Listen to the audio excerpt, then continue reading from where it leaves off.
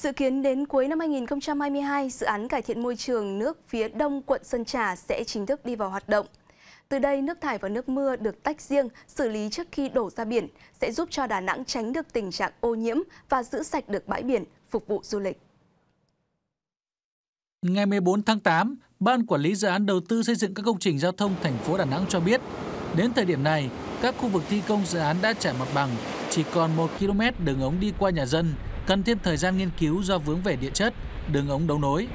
Được biết, dự án cải thiện môi trường nước phía đông quận Sơn Trà được đầu tư các tuyến cống thoát nước có kích thước lớn và nâng cấp trạm xử lý nước thải Sơn Trà thêm 40.000 m3 một ngày đêm, đáp ứng tổng công suất lên tới 65.500 m3 một ngày đêm.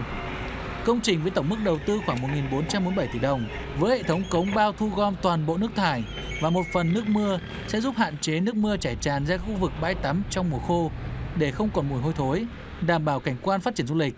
Trong khuôn khổ dự án, 6 cửa xả ven biển các tuyến đường Hoàng Sa và Võ Nguyên Giáp cũng sẽ được cải tạo để ngăn nước biển, cát chảy ngược vào hệ thống thoát nước.